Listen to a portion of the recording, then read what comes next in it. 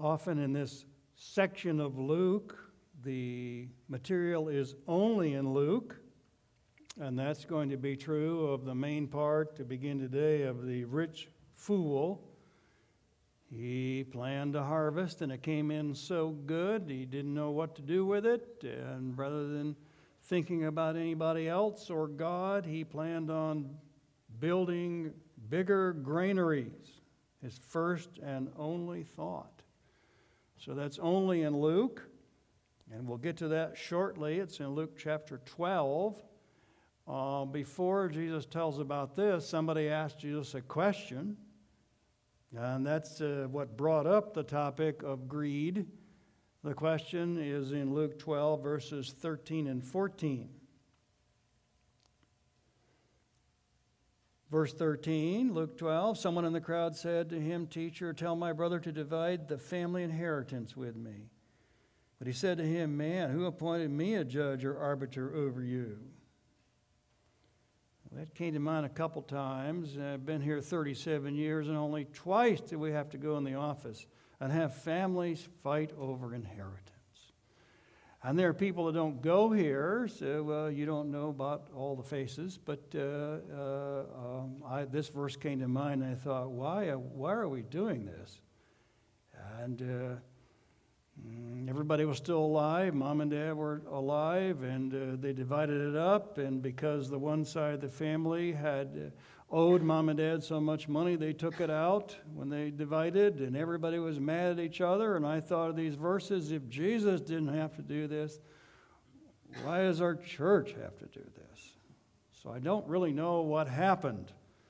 But it is interesting that the stand up question is in the middle of Jesus' sermon. And Jesus had not been talking about money. Uh, remember last week's sermon? He's talking about you need to confess Jesus as Savior sometime on earth among other people. Sometime on earth, you need to uh, pray up to God the Father and tell Him that you want Jesus to be your Savior. So, Jesus' story was about saving faith. He also talked about persecution coming. And when persecution comes, if you have a trial and you're on defense, you have to depend upon the Holy Spirit for what to say. This is what Jesus was talking about. And someone had been sitting there thinking about money and stood up and popped up with this question, which really didn't fit at all what Jesus was talking about a missionary one time called the church, and he was a missionary in the Muslim parts of the Middle East. And he said, he actually called asking about getting books, but he uh, called about a church in California where he had just been, and he talked about uh, persecution and Christians being killed for their faith, and on and on and on. And then it was prayer time, and the first prayer was, Please pray that God will help the workmen put in the best swimming pool. And maybe that's okay to make the list, but that really bothered the missionary. I mean, he's talking about all this uh, persecution and terrible things. Well, I bring that up because that's kind of what this is like here. Jesus talked about the need to confess him before men so that. Uh, you pray to ask Jesus to be your Savior sometime when you're in this life so that later Jesus will confess you before the Father. And then he talked about coming persecution, how to depend upon the Holy Spirit for trial and persecution. Then up pops this question of a uh, money. And not that it, not that the wasn't a real issue, but it's kind of like We've been talking about persecution. We've been talking about, Jesus been talking about life and death. He's been talking about the need to uh, pray and confess Jesus as Savior up to God in heaven sometime uh, while in this earth. And then up comes this question and uh, you can tell already with reading this much, I don't think Jesus liked it, but uh, as we read verse 15, he now starts talking about the topic of greed, which had something to do with the question about the inheritance. Let's read verse 15. He said to them, Beware and be on your guard against every form of greed, for not even when one has an abundance does his life consist of his possessions. Well, there would be several forms of greed, and that's not hard to guess. One form of greed would be actually criminal, criminal ways to get more. Another form of greed may not be violent, but would be dishonest. That'd be lying to get greed. The form of greed that would be the most confusing to just listeners would be uh, honest in acquisition, but still greedy. Not, not that a lot of his listeners were cheats. Maybe they got an honest acquisition of money, but uh, the honest profit involved a worship of money. Uh, you know, uh, not, not that all his listeners had to have made money the wrong way, but it was like money first. Money is the goal of life, money is the reason to live. Abundance need not be sin, and uh, there are going to be some uh, rich people in the Bible. I plan on giving their names, but uh, uh not the reason to live that view and that philosophy uh, in the margins of my study Bible had 1 Timothy 6 17. Um, now, that among that phrase, God gives us all things richly to enjoy. So that is positive. And uh, God might give people things to enjoy, and that's part of uh, thinking here. On the other hand, uh, 1 Timothy 6 also says not to be conceited and not to fix one's hope on uncertain riches. So 1 Timothy 6 allowed that uh, God might uh, give a person a lot, but not money worship, not snobbery, not a feeling or an action that one is better than everyone else, and not fixing hope on riches. That is, instead of making God the trust and making God the hope and making God's will the future, it's just uh, money, which seems to be what the question was all about that brought up this story of the rich fool. Now, later he'll tell a story about the rich man and Lazarus, but it does not use the word parable in Luke 16, so that they might have been real people. It doesn't use the word parable. Here it uses the word parable. So this is a uh, figure of speech. Pair as in parallel, balo as in throw, to throw an illustration along. So uh, this is actually an illustration, not a real story, but it illustrates the uh, person who worships money. And uh, we continue with that in verses 16 and 17. And he told them a throw alongside a parable saying, The land of the rich man was very productive. And he began reasoning to himself, saying, What shall I do since I have no place to store my crops? And he said, This is what I will do. I will tear down my barns and build larger ones. And there will I store all my grain and my goods. And I will say to my soul, Soul, you have many goods laid up for many years to come. Take your ease. Eat, drink, and be merry. Parts of Israel don't grow very much. That's in the south and the Negev, and it's just mainly let the livestock graze on the weeds and on the grass. Galilee is very productive. Uh, even the central Israel along the Jordan River, if you irrigate, it can be very productive. And I always remember uh, melons. They had irrigation ditches and they were growing melons out there, even though the land didn't look all that good. But some parts are very productive, and this person had made plans. And their plans came true, and they just had a lot more than even they expected. Now, he gives a quote that's three verses long, um, no reference to God in it. Uh, no reference that God had anything to do with it. Now, hard work is a part of success, but then it takes God's blessings also, so it takes both. And uh, here there's no reference to God at all. a number one command love the Lord your God with all your heart, soul, and mind. And uh, wasn't thinking about God. Wasn't thinking about others. Love your neighbor as yourself. Commandment number two. So his goal in life had nothing to do with work for God, had nothing to do with care for God's people. That's totally left out to love God first, love your neighbor as yourself. He basically loved money first and has success. So, no thought of God, and he was uh, rich in some ways, but we might say he was poor in his thinking.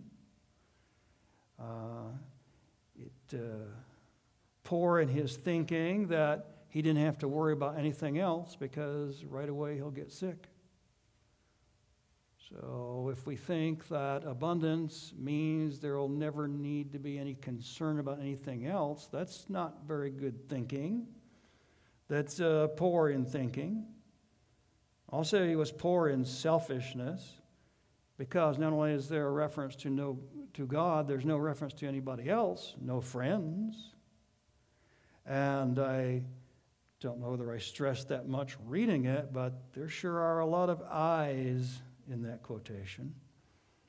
Uh, verses 17, 18, and 19 are three verses, but I, I, I, I got six of them. I circled six I's. What shall I do? This is what I will do. There are four more my's all my goods. I will tear down my barns and build bigger barns for all my goods. So six I's and four my's and two you's. We don't usually refer to ourselves as a you, like we're talking to ourselves, but he has two of those. And then we hardly ever talk to our own souls. I will talk to my soul, soul. Add them up, there's 14 references to himself in three verses. So, uh, wasn't rich in friends and wasn't rich in wisdom. He was rich in money, but he was very poor in uh, worry up to that time, and he was very poor in being selfish. Now, we left verse 20 out because that's being poor in wisdom. And that wouldn't be a modern reader's conclusion. If God calls him a fool, then that's pretty good to put him in the poor in wisdom category. And God called him a fool in verse 20. But God said to him, You fool, this very night your soul is required of you. And now who is the one who will own what you have prepared? Well, he's a fool. I thought it might be moron because that is the Greek word for fool. This one's a little bit different. It just means without sense. I mean, there's no sense in thinking that a large granary is the meaning to life. I mean, okay, if it's viewed as a blessing from God and viewed as something to be used from God, then not a thing wrong with abundance, not a thing wrong with a large granary. But to think that that is the reason to live or that is the reason that everything is taken care of, to think that is alone, well, that's not too sensible. And the word for fool means without. Uh, again, man does not live by bread alone, but every word that proceeds out of the mouth of God. So, man does not live by bread alone. Man does not live by a big granary. Now, in our farm, I think of corn cribs. Grandpa did grow wheat and oats, but more corn. Well, okay. Just got great big buildings full of corn. Well, good. Reason to live, not very good. Uh, reason to think that everything else is taken care of, not very good. Not a very good reason for life. Verse 20, I think, actually is plural. They are demanding your soul. Means he wasn't going to make it. I, it's kind of interpretation. Uh, Human killers? Are human killers demanding your soul? Is that what will happen? They are demanding your soul, supernatural beings taken away at the time of death. Uh, in the coming story of the rich man and Lazarus, Luke 16 22, the poor man died and was carried away by angels. that the poor man was a believer to be carried away by angels. Uh, here, what? They're coming for you. Either criminals or demons. That'd be a good guess. Not very good. Uh, we do see life after death. That in both cases, uh, both these uh, stories, uh, a life after death, coming again with a rich man and Lazarus, both are alive. All are made in the image of God. Part of that is holiness. That image of God was lost at the fall. We are not like God in being holy, but all people are like God in the sense of being eternal. Believers or unbelievers, life after death. Believers or unbelievers, eternal. It seems that he had no heirs. Uh, Ecclesiastes does come to mind because Solomon says a very similar thing in Ecclesiastes 2 18 and 19. Uh, Thus I hated all the fruit of my labor. For what I have labored for under the sun, I must leave it to the man who will come after me. And who knows whether he will be wise or a fool? Yet he will have control over all the fruit of my labor, for which I have labored. This too is vanity. Well, Solomon had heirs, and uh, his point, well, they might be all right, might not be, but his point was I won't be in control anymore. Whether there were heirs or no heirs, that's a true point. I will not be in control anymore. Uh, God gives abundance, and instead of living for God, he was living just for the abundance.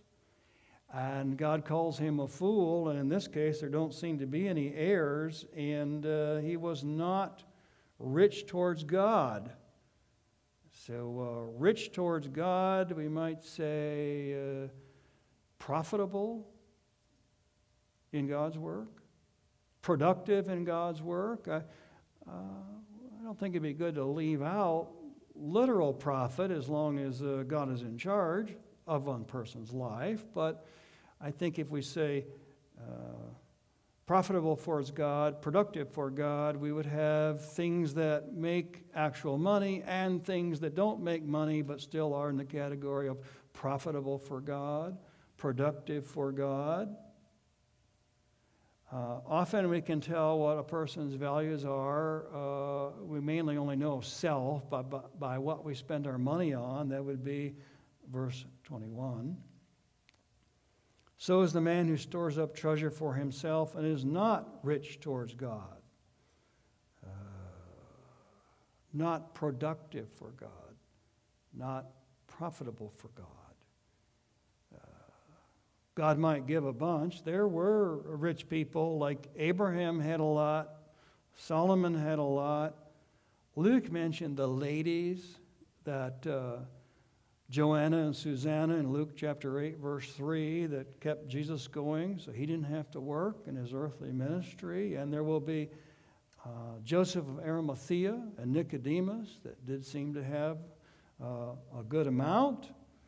Uh, but beyond the uh, finances for God and actual profit for God, there's other forms of richness towards God doing things that produce for God and His kingdom. I uh, plan on going ahead with verse 22 and following because uh, kind of what goes together is living for money and worry. They, they do go together, living, living for God and worry. So uh, let's read about, he kind of switches to worry now, but it does make sense that the two topics fit each other. Verse 22. And he said to his disciples, For this reason I say to you, do not worry about your life as to what you will eat, nor for your body what you will put on. For the body is more than food, life is more than food, and the body more than clothing. Consider the ravens, for they neither sow nor reap, they have no storeroom nor barn, yet God feeds them. How much more valuable you are than the birds? Which of you, by worrying, can add a single hour to his lifespan? If then you cannot do even a very little thing, why do you worry about other matters?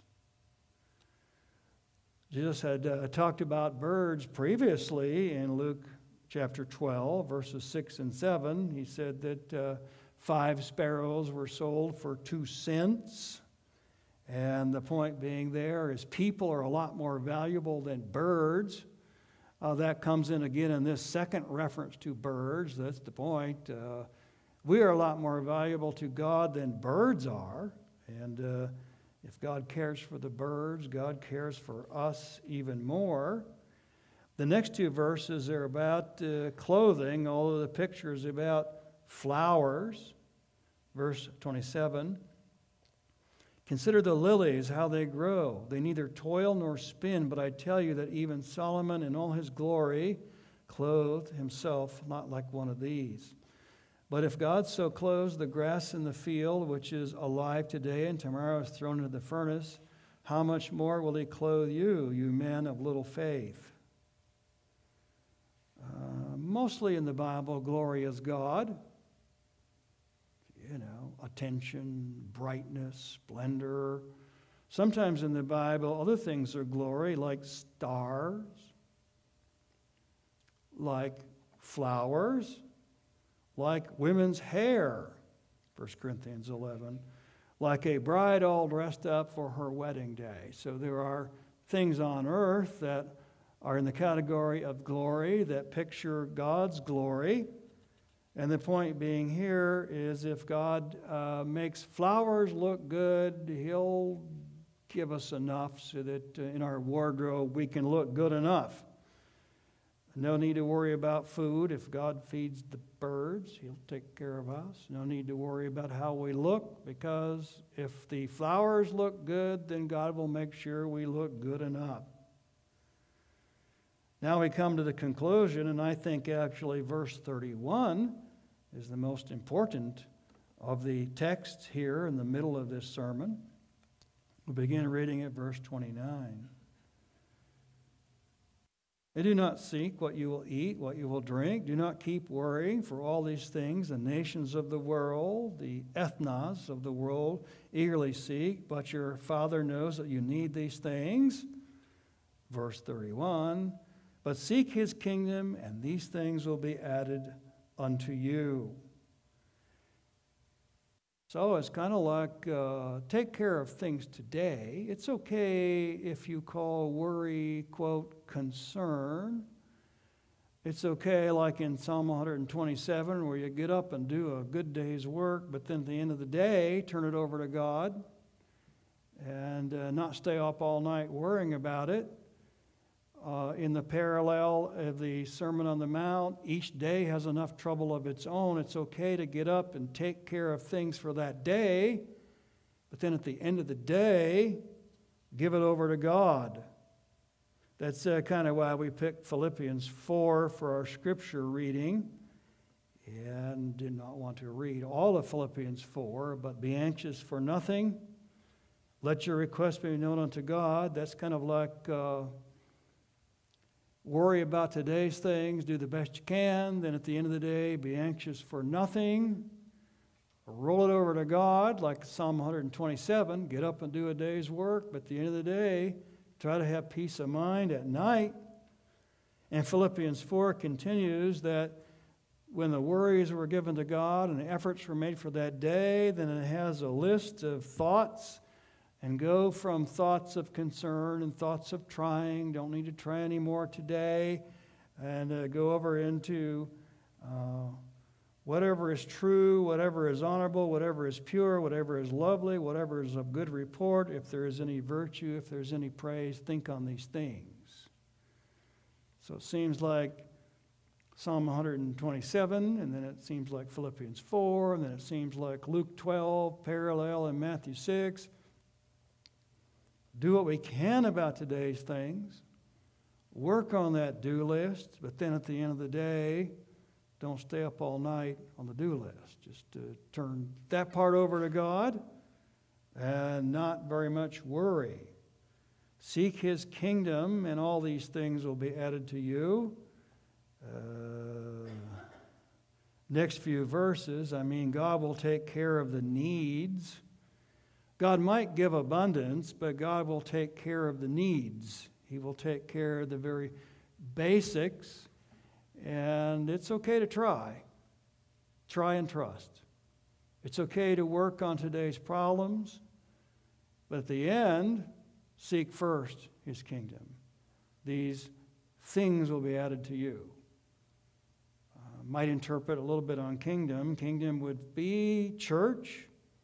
Kingdom would also be look forward to when he comes again. And he's King of kings and Lords of lords, and he'll put away all of the wrong, and he'll make everything right, and then he'll rule a political kingdom on this earth. So, seeking the kingdom would be seeking his work in the church as a kingdom, a spiritual kingdom, but then seeking for the second coming. Okay, thank you for sitting over here all that time. When the musicians please come.